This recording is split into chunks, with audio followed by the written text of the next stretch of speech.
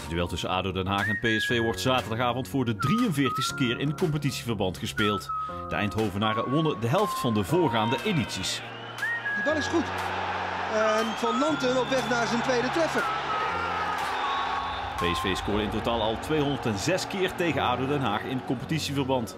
Geen enkele andere ploeg scoorde zo vaak tegen de ploeg uit de residentie. Heinze, Koeman, Gerards komt. En Koeman schiet zelf zo. Dan ligt er toch weer één in. PSV verzamelde in het kalenderjaar 2017 al 34 punten. Luc de Jong wilde koppen, maar eh, dat wordt ook verhinderd. Locadia, oh, wat een mooie. De Eindhovenaren scoorden dit seizoen al 11 keer uit een corner. Tweede minuut van de extra tijd. Guardado trapt hem en de goal. Easy not Mirin. Van de 61 goals werden er 20 met het hoofd gemaakt. Andres Guardado scoorde afgelopen weekend tegen Willem II voor de vierde keer voor PSV. Het was pas zijn eerste goal in het Philipsstadion. Guardado. Zelf maar een keer schieten. Guardado, zo!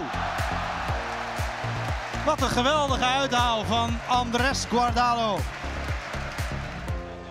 Een van de spelers met een verleden bij zowel ADO Den Haag als PSV is Timothy de Rijk. Van Bommel. Toegelopen. Het is nu de Rijk.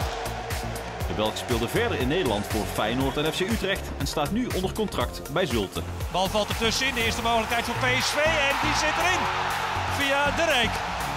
Dan ADO Den Haag, dat won afgelopen weekend voor de derde keer op rij. Havenaar krijgt de kans niet. Duplan bijna wel. De ingreep van Pat. En dan toch binnengeschoten. 2-0. Dion Malone. ADO scoorde maar liefst acht keer in de laatste twee thuisduels. Malone. Nou, Becker. Becker kan gelijk zijn trainer. Oh, legt hem erin. Geraldo Becker. Wat een begin van ADO Den Haag. Een van de spelers van ADO Den Haag om in de gaten te houden is Mike Havenaar. De spits scoorde één keer in elk van zijn laatste vier duels. Havenaar steekt zijn arm in de lucht. Krijgt nu de bal. Oh, goal.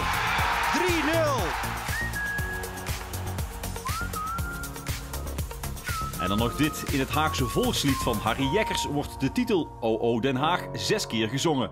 Als je het nummer continu afspeelt op de reis van het Philipsstadion naar het Kyocera Stadion, zou je OO Den Haag in totaal 230 keer voorbij horen komen.